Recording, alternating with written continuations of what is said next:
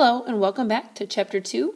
Today we're going to look at Section 2.2, which deals with basic differentiation rules and rates of change.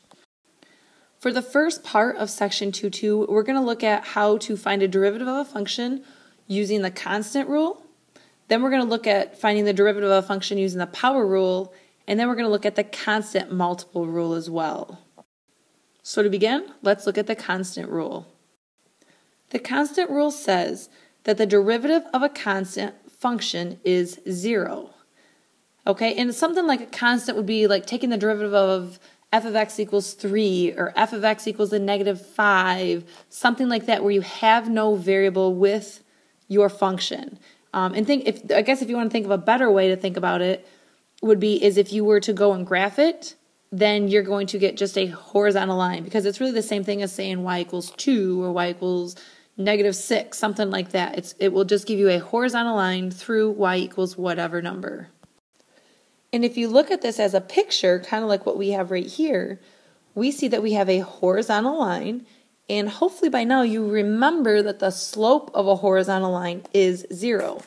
Therefore, the derivative of a constant is also 0 because the, the derivative of a constant is the same thing as the slope of a constant, which is also 0. So if we look at example 1, part A, it says y equals 7, and we want to find the derivative. So y prime then is equal to 0. For part B, we have f of x equals 0. So we can say f prime of x also equals 0. Part C, I have the function s of t equals negative 3. The derivative of a constant is also 0, so we would say s prime of t is equal to 0. And if we are given the function y equals k pi squared, and k is constant, we know that pi is also constant, so the derivative of a constant, or y prime, is also equal to 0. Next, we're going to look at the power rule.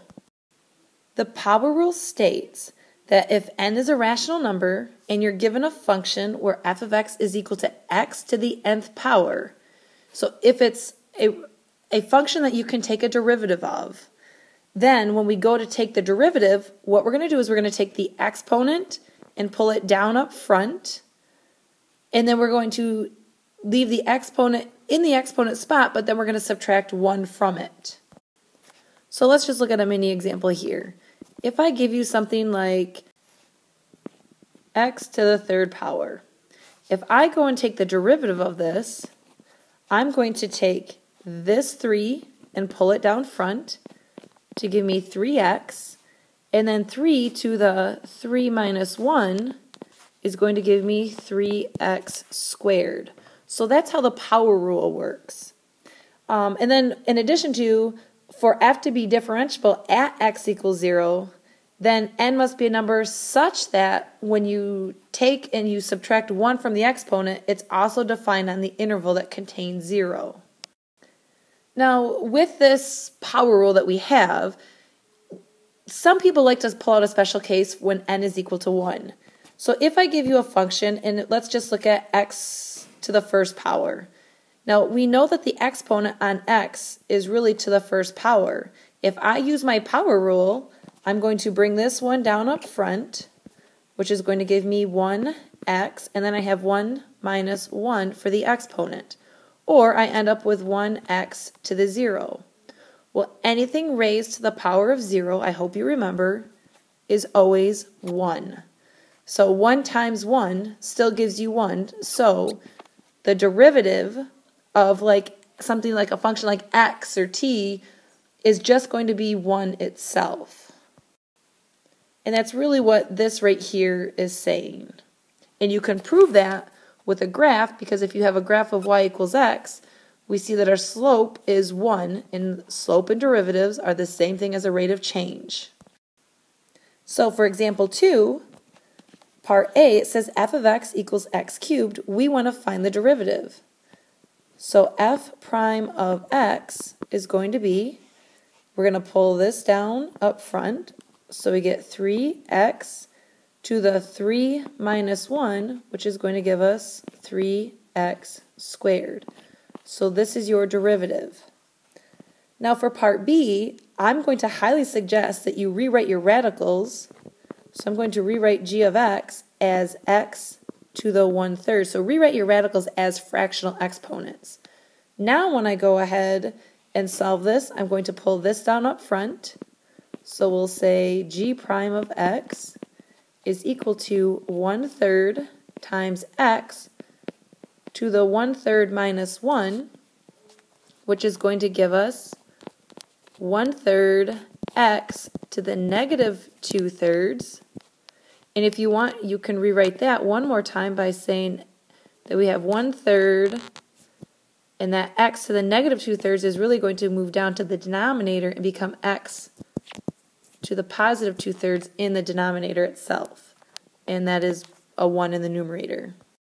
So your final answer would be this right here.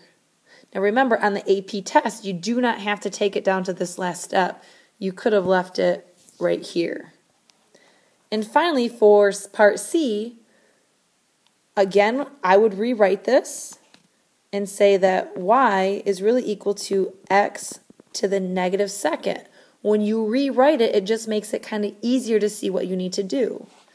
So when we go to do our y prime, I'm going to take this negative 2, move it down up front. So I have negative 2x to the negative 2 minus 1, which is going to give us negative 2x to the negative third.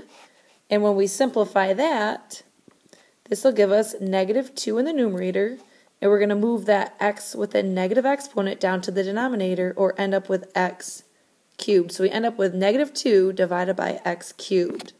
And that would be our final answer for part C.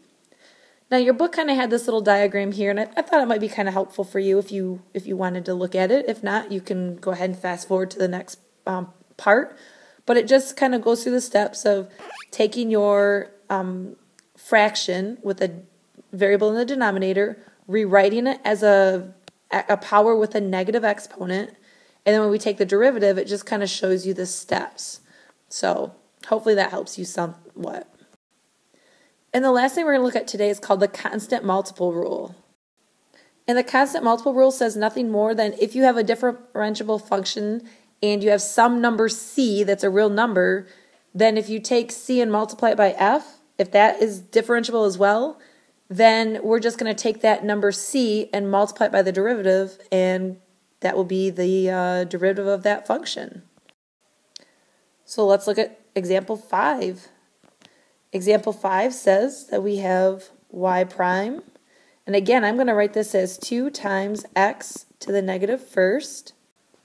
So when I take the derivative, I know that I have to take this exponent, multiply it by the coefficient in front, which is going to give us a negative 2 x to the negative first minus 1, which is going to give us a negative 2x to the negative second, which is really a negative 2 divided by x squared.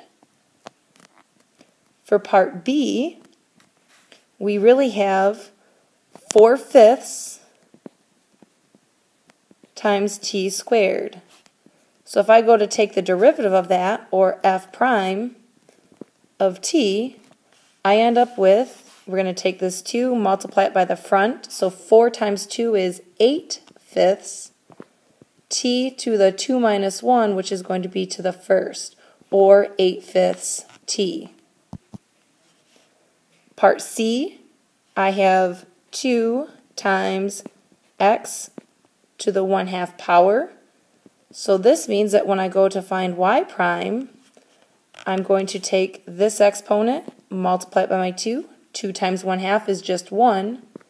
x to the 1 half minus 1 which gives me x to the negative 1 half.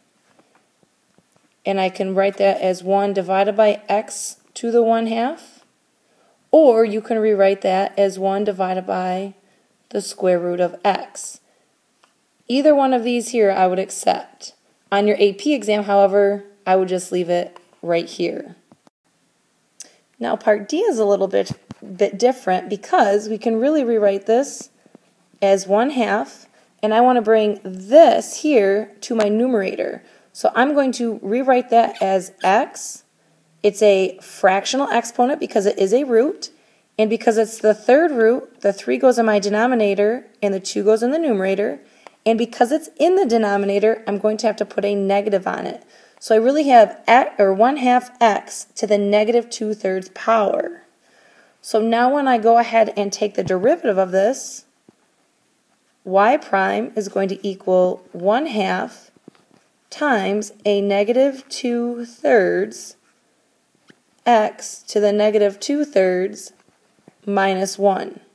Now, because you have fractions in your exponent, you are going to have to get a common denominator. So the common denominator for negative 2 thirds and a negative 1 is the thirds.